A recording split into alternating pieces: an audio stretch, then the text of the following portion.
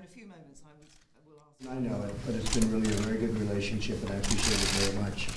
I'd just like to congratulate you on having done a fantastic job on behalf of the people of the United States, and it's an honor to have worked with you, and I don't know exactly what your timing is, but stick around, let's do this deal.